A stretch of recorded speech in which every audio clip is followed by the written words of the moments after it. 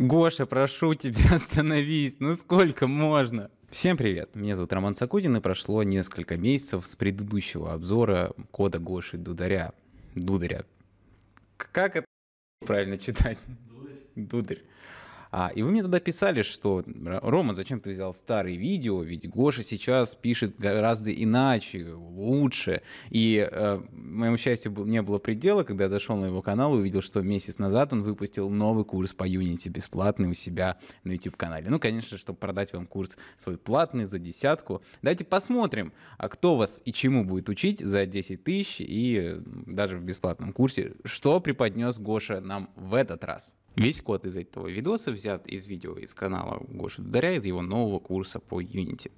И с самого начала Гоша показывает, что он не хуем деланный, а каким-то неебическим пальцем, и вместо того, чтобы использовать вектор 3int, который в Unity уже присутствует, он решил оформить свою структуру куб POS, здравствуйте, сокращение, которое не принято использовать в сообществе Sharp разработчиков, и удивляет нас божественным гейн-контроллером. Ну, про видос про контроллер я вам рассказывать еще раз не буду, он есть на моем канале, посмотрите, я там детально рассказываю, почему это плохо и почему так делать нельзя. Юные читатели скажут, ну как же Григорий это сделал не просто так, он это сделал для того, чтобы представить два метра, метода getVector и setVector для конвертации классического вектора trim, который float, в интовый вектор. А я вам расскажу, что с точки зрения проектирования эта задача решается не дублированием типа да, и а, присобачивания к нему каких-то а, методов конвертации, а с помощью методов расширения. То есть мы могли к вектор 3 int и к вектор 3 обычному а, забабахать, если, если нам необходим такой дополнительный функционал, метод расширения. К слову, в этом фрагменте Григорий опять называл поле переменной, а, но ну, вы вложили, что он больше так не делает.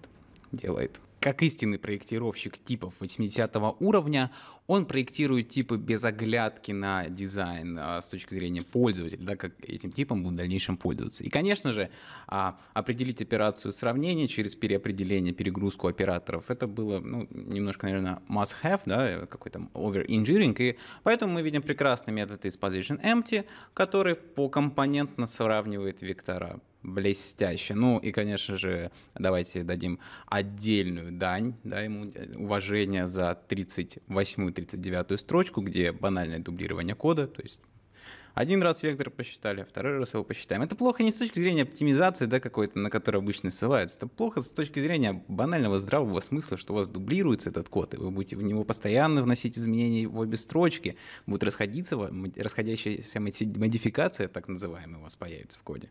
Дударь – рекордсмен среди всех ютуберов по количеству видео о циклах. Так как он записывает Hello World по всем технологиям, что есть вообще в нашем мире, то обязательно он касается по любому языку темы циклов и рассказывает. А, и как блестящий специалист а, в основах синтаксиса всех языков, а, ну, не смог применить циклы, да, поэтому мы видим такую вот вереницу из if else, if else, if else, else, if, сами понимаете, вы, вы бы так написали, сказали, вот это, адекват, вот это адекватно, и все было бы не так грустно, ну нет, уже грустно, но еще грустнее. А, добавили дополнительные условия, одинаковые каждому if-else. А я называю такой стиль проектирования избиение балалайки хуем. А что, всем весело, музыка играет, код пишется, вроде работает. Не хотите играть хуем на балалайке, а хотите писать нормальный код и трудоустраиваться на хорошей позиции, записывайтесь на наш курс по Unity, где мы вас обучим с полного нуля и гарантируем трудоустройство. Мы вас поместим в свою команду, будем а, сами у вас закажем первый проект, примерно 15-20 тысяч рублей вам заплатим. И в дальнейшем, если вы с этим проектом справитесь, мы будем передавать вам заявки, которые поступают в нашу студию. Поэтому записывайтесь, трудоустройство реально гарантируем. Не просто там поможем, да, типа резюмешку вам составим, там куда-то отправим. Нет, реально, блядь, бабок дадим. Поэтому переходите по ссылке в описании, изучайте подробности. Давайте поиграем в квиз. Я вам задам вопрос, вы попробуйте ответить на него в комментариях. Что общего между вот этим кодом и оператором GoTo? Тын-тын-тын-тын-тын-тын. Своя игра начинается, да, вопросы за 200, за 300. А фишка в чем, ребята? Ну, все, я думаю, вы согласны. Оператор GoTo плохо, вы там в самом начале своего жизненного цикла как программисты учили это и запомнили, и теперь как мантру готовы повторять.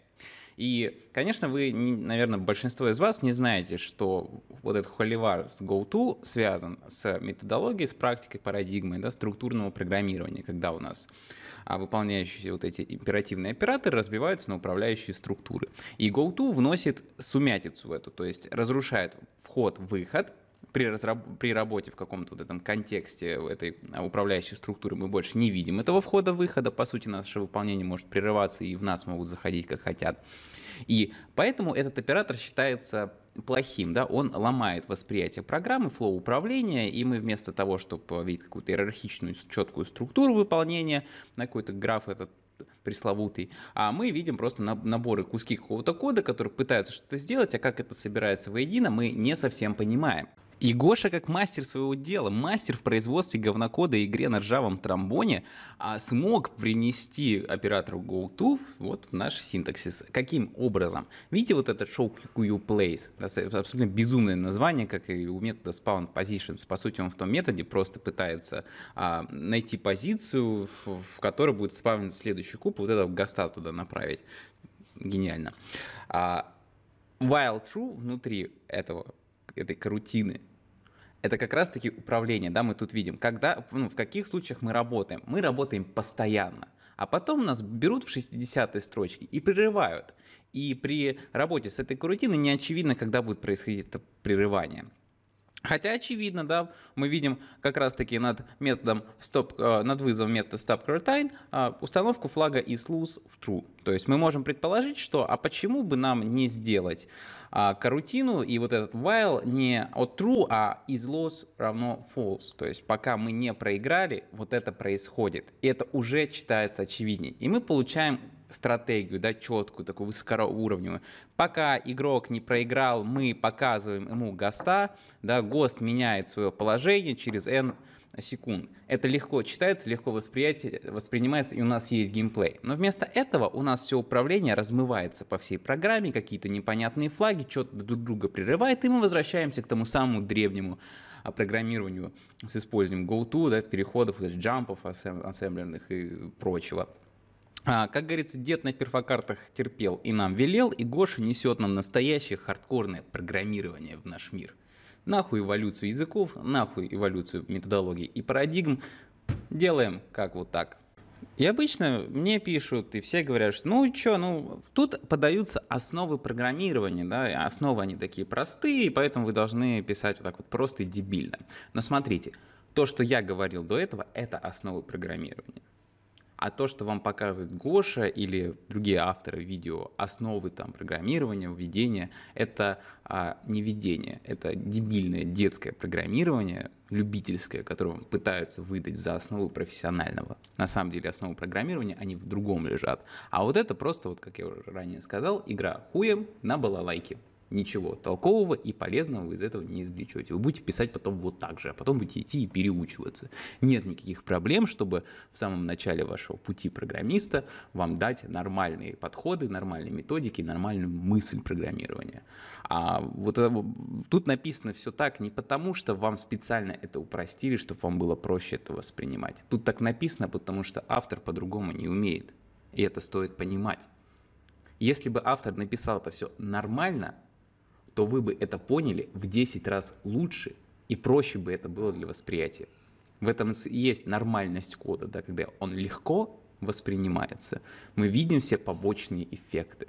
Да? У нас не возникает неожиданностей. Если это видео наберет 2000 лайков, я возьму проект Гоши и перепишу его. Как вот он должен выглядеть. Да, возможно, там не идеально, но он будет в десятки раз лучше. Я уверяю вас, если там положить перед учеником мой код и его, мой будет восприниматься легче и понятнее. Потому что я могу такой код писать, а Гоша не может.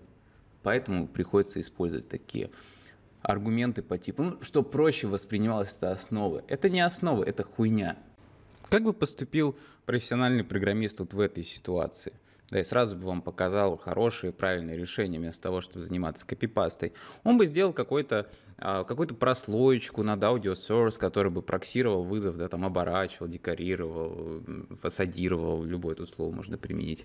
А наш source и метод play, естественно, бы просто не включал музыку, если бы а, у нас в настройках стоял бы ну, беззвучный режим. Или бы мы сделали какой-то global settings по типу микшера. Ой, здравствуйте, у нас, оказывается, в Unity микшер уже есть, и мы можем отдельной группой компонентов, не врезаясь в предметную логику, а выключать звук в игре да, на а, отдельных дорожках и не вносить вот эти вот, а, вот эту кодовую базу вот сюда не врезать. То есть множество гениальных решений, ну ладно, простых, понятных решений, которые избавят вас от кучи проблем. Ну а вместо того, что, ну давайте каждый раз обращаться к Player Prefs, включить, погрузить по ключу вот эти данные и не, не запускать звук, если у нас music no.